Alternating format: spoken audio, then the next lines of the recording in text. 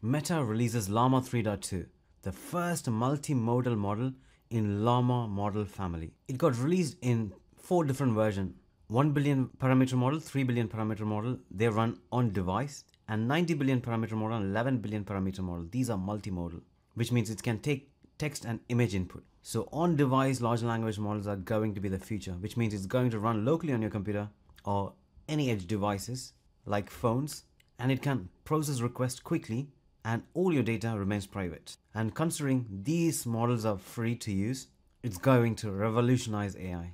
Llama 3.1 1 billion and 3 billion parameter model, the context length is 128,000 tokens, which means you are able to ingest large amount of data and then ask questions based on that. You can see that Llama 3.2, 11 billion and 90 billion are in par with Claude 3 Haiku and GPT-4o Mini, the closed source models. So the open source models are competing with closed source models and it's not far that it can overtake these closed source models. In regards to 1 billion and 3 billion parameter model, they are better than Gemma 2, 2 billion parameter model and Phi 3.5 mini model on various benchmarks. Three things to focus on here. One is on-device, multimodal and Llama stack. First, considering on-device, the 1 billion and 3 billion. Let's see an example here. So now if you got like a list of messages, you can just copy all the text and then paste it in the Llama app, which can automatically summarize it for you. And this data never leaves your device. You can see it's getting summarized and then it goes to the action points based on the conversation. Then now it can automatically do function calling and then add a calendar event directly from your device. Everything is automated and you can see all the action points and the calendar added to your list. This is super cool. Next, in regards to multimodal, when you add an image, it can automatically analyze the image and tell you what is in that image. Also, it is able to detect the items in the image and we are able to choose those items and ask for alternative suggestions. And furthermore, we can use RAG process to retrieve relevant information and get some ideas from there. Thirdly, in regards to Llama Stack, it's easy for any developers to automatically include Llama in their own application. This includes all the inference, APIs, and as you can see here, it can automatically generate the response completely on device and easily you can create an application with this. I'm going to take you through the architecture on how this 1 billion and 3 billion model got created and how you can directly use it on your device right now.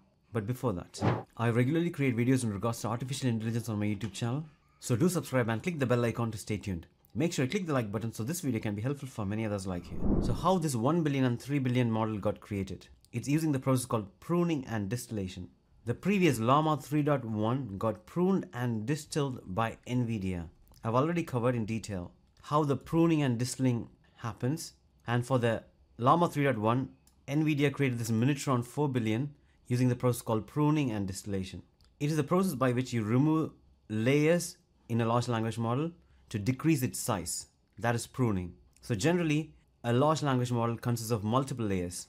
Let's say 32 layers in regards to Llama 3.1 and not all layers are important. So just choosing only the high priority layers and then trimming it down after ranking it. So if you remove layers, then that is called pruning. So then it's sent to distillation process. Distillation is a process by which you have a teacher large language model who is going to pass the knowledge to the student model. So you just tell what specific topic the student model need to get trained. So the teacher model will send relevant information or the knowledge to the student model to train that. So this process is called distillation. So that's what we see here in 1 billion and 3 billion pruning and distillation process. First, we got the 8 billion parameter model and 70 billion parameter model got created. That is Llama 3.1. So using those models, you prune those layers, remove those layers with the logit data. Then you create Llama 3.2, 1 billion and 3 billion parameter model. Then after that, we need to distill the process. So we got the synthetic data prompts and the Llama 3.1 405 billion parameter instruct. So this is the previous version. From that, you create synthetic data. So this is the teacher model. So as a teacher, you're going to teach the student. So it automatically generates the data, synthetic data. And using that data, we are going to train this Llama 3.2 1 billion and 3 billion parameter model to get this Llama 3.2 1B 3B instruct. This process is called pruning and distillation. This you can see clearly got explained in the Meta blog post, which I've linked that in the description below. In regards to the architecture for vision models, such as 11 billion parameter model and 90 billion parameter model, generally for a multimodal model, when you pass text and image, the text will be directly fed to LLM and then you got the image that will be converted using an adapter and then fed to the large language model. So in this case, we are using only text and image because Llama 3.2 doesn't support audio and video yet. It is clearly explained here. To add image input support, we trained set of adapter weights that integrate pre-trained image encoder, that's what we saw in the image, into the pre-trained language model. So pre-trained image encoder into the pre-trained language model. So after training, it went through supervised fine-tuning, rejection sampling, direct preference optimization. They created synthetic data from Llama 3.1 model to provide high quality fine tuning data. There is one more thing which I want to show you is the Llama guard. So whenever a user add input, the Llama guard is able to analyze the input and able to stop the response if it is not really good. This is input safeguard based on user's input. Similarly, you got output safeguard. When the user asks a question, it's passed to Llama guard and instead of just canceling the response is able to generate a response but in a more ethical way. You can try this model in various different platforms such as Fireworks, Google Cloud, Groq, Hugging Face, and much more. You have all these models such as the 90B, 3B, 1B, and 11B available in Groq, which you can try now. Let's test with this 1 billion preview. Give me a daily meal plan for me today.